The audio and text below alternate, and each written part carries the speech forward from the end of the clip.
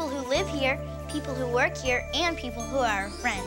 Oh, And friends are my very favorite part of the neighborhood. I like to run and jump and play. There's so many things to do.